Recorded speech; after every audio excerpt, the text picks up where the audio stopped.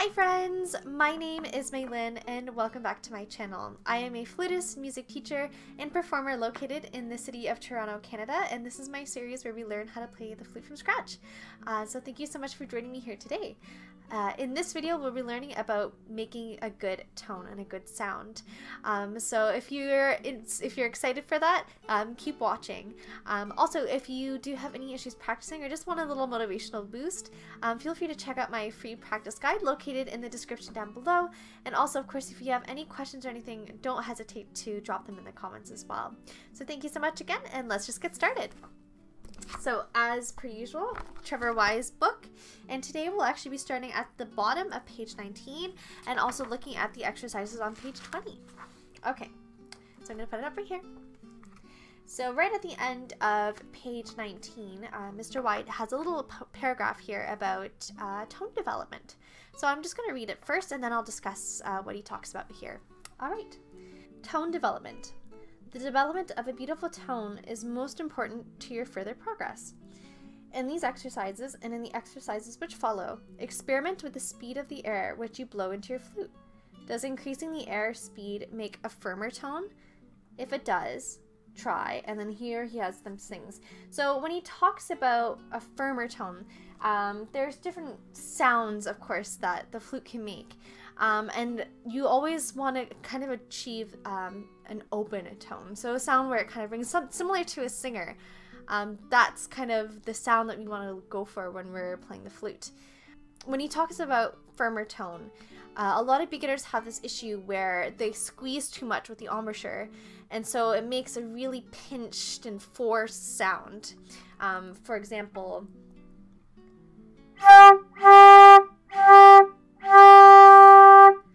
can actually hear that there like it's there's this tenseness there's no way that it can open up it just sounds very compressed and tight.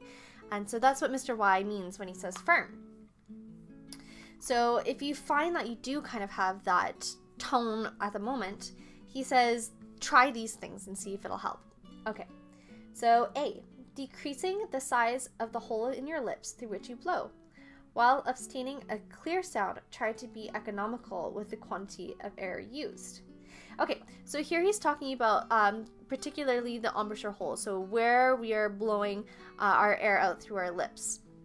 So if you find that it's a little bit too firm, what you can do is you can actually try and experiment with how big the embouchure hole is. Do you need it wider? Do you want it spaced out more like this onto the side, like spread out? Or do you want to make it more round and open like this? These are things that you can experiment with and with the air speed in particular. Do you want to try it faster, slower, colder, hotter? All these different things you can experiment with. And the second point here, B, moving the jaw backwards and forwards slightly. Note any improvement. Play each note as long as possible. Take big breaths. Avoid turning the flute blow hole or the embouchure hole in on your lip. No more than half should be covered. See the front of this book. So I find that tone development is something that uh, takes time.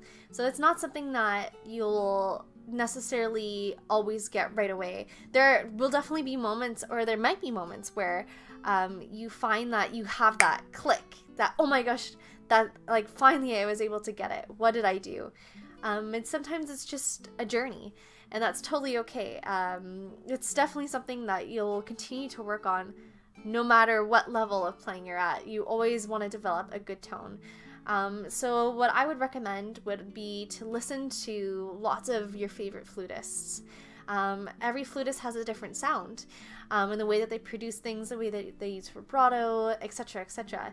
Um, so, making sure that you do a lot of listening will help your help to train your ear as to how you want to sound, and um, take that into account. That they if you're listening to professionals of course they've been playing for many many years. And at this point you've probably just started or you're maybe perhaps you're getting back into playing.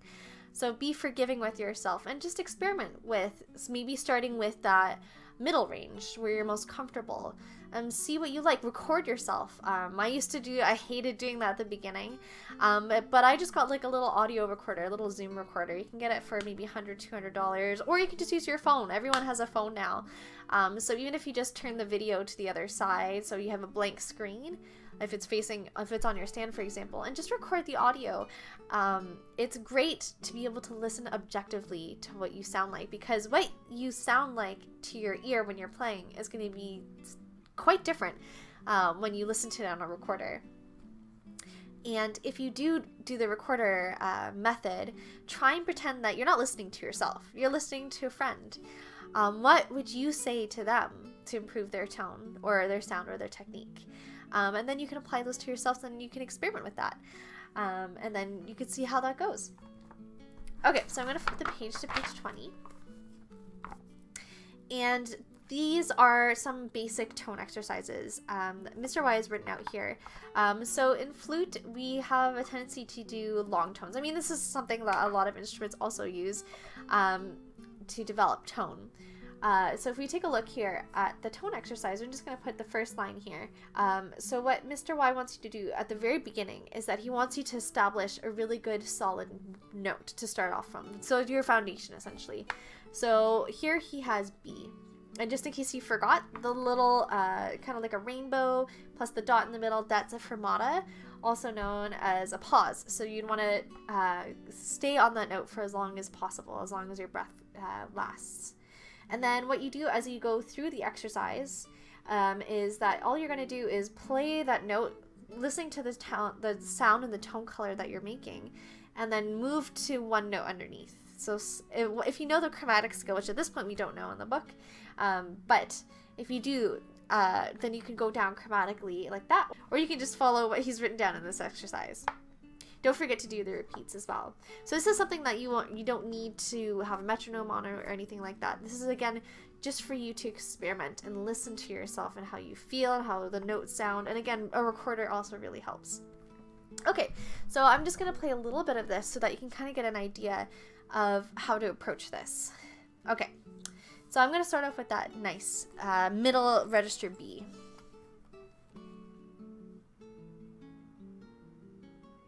Oh yes, and also don't feel bad um, if you can't hold your note as long as me at this point. You may be able to actually hold it longer. That's amazing if you can, um, but don't feel bad if you can't.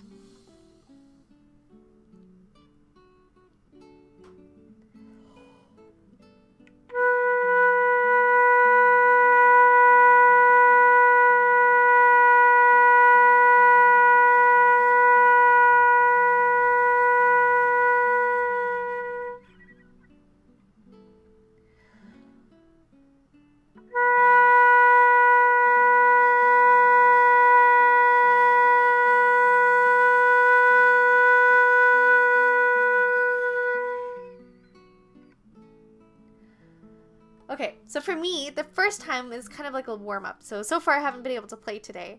So the second time I played it, I liked the second time a little bit more just because it had a more open sound. You can hear it. For me, it's like it's ringing and it can kind of spin out throughout the room. Okay, so now I'm going to move on to the next bar here.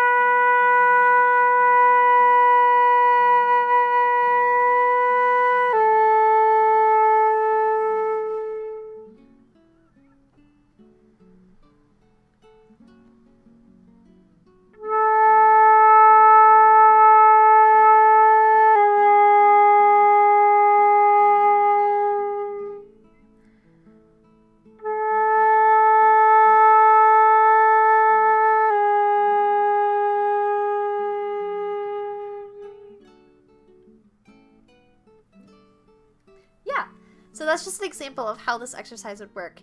And when you're playing um, different reiterations of the same, so when you do a repeat, for example, um, really try and listen to the beginning, the middle, and the end of each of those notes, especially that transition between the two notes as well, and see what is there something that needs to change. Remember those three things that I like to bring up your embouchure, your air, and your fingers. So it could be any of those three things that uh, can kind of affect what's happening with the notes. Um, so when you're holding the notes, definitely think about your embouchure and your air. Those are the two things that you're going to think about when you're playing those notes. And then when you move to the other note, then think about the fingers. It shouldn't be too difficult at this point. You're just moving one or two fingers. Um, yeah, but really keep that in mind and definitely record. I think that's going to be the, the biggest thing that will help um, when you develop your tone. Uh, all right. So you can also do not just what's written here, but you could also go up as well. So again, starting on that B, then you can go up to a C or C sharp and then D, and then you could do variations. So uh, I'll post the second line here. here. And the second line here, so he has three notes um, instead of just the two. So for example, again, you'd start again with the B, so you get that nice solid sound in, in your ear.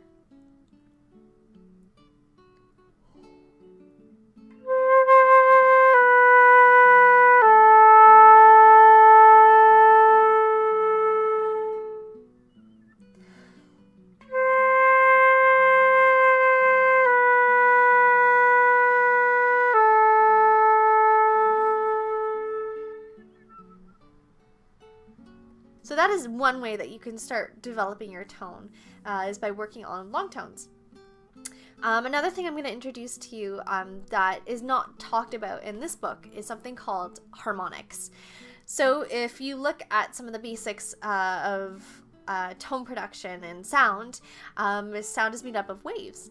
And um, for notes, there are different fundamentals. So you get the, the, the base of the note, but then you'll actually be able to hear if you, for example, if you have an acoustic piano and you hold the um, dampening pedal down and you uh, hold one note or you press one of the low notes and then you'll hear the ringing, the friendly vibrations of the other notes. Um, it's kind of interesting. If you haven't been able to try that, try that someday. Um, that is what and harmonics are. So there's different frequencies in the pitch um, that you don't necessarily hear right away, um, but there's different ways that you can hear that. So on the flute, when we're working on tone, and harmonics is key to helping us uh, really get the right pitches and the right sound and the right openness.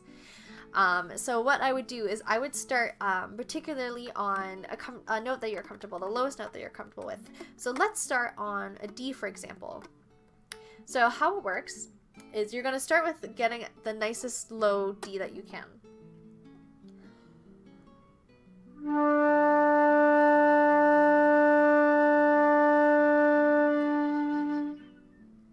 Once you're comfortable with the sound of that note, then what you're going to do is you're going to overblow the note. So you're going to try and get the high octave D when you're still fingering the low D. So for example, oh, and make sure you, you're not allowed to tongue between the notes. So it's all about um, your air support.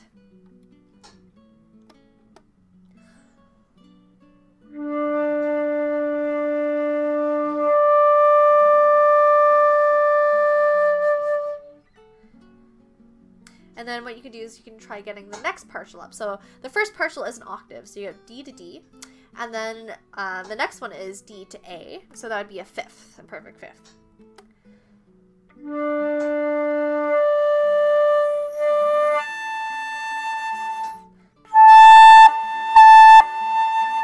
And that's also something you can experiment with going back and forth between the enharmonic and the uh, actual fingered note. So then the next one after that A is going to be a D again.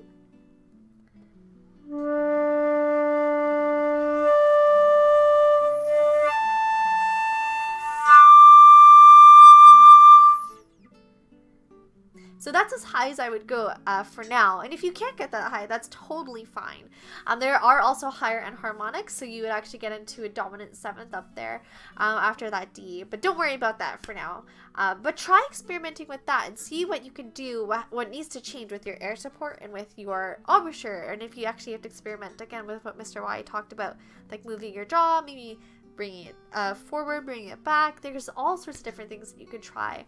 Um, there are uh, also different ways that you can uh, keep note of what you've done. So, what I used to do when I was uh, first beginning, uh, I would have a little notepad and I would actually just write little notes about uh, what I was trying. So, I try, let's say, for example, tightening the embouchure, so making it a little bit more, a little bit smaller. Uh, and then I would put like yes and no. Did it work? Did I like it? Uh, and then check yes, check no. So it's a way of just uh, keeping track of what you've tried, um, and if you feel like uh, that helps, then that would be great. And there's always different ways to approach uh, developing tone. And also, um, don't feel bad again if it takes a long time. Uh, tone development is just that. It's the development of your tone and it's going to be something that you'll continue to do um, for the rest of your playing career. Even if you're just a hobbyist it's something uh, that never ends, which is a good thing. So that's it for today. Um, so thank you again for joining me here. Um, of course, if you have any questions, feel free to drop them in the comment section down below. And also, if you are having any issues practicing, feel free to um, check out my free practice guide, also located in the description. Uh, for next week's lesson, just let you know, we are learning about B flat and also about key signatures. So that's a little bit of theory for next week. Uh, so thank you again so much for watching and uh, happy fluting!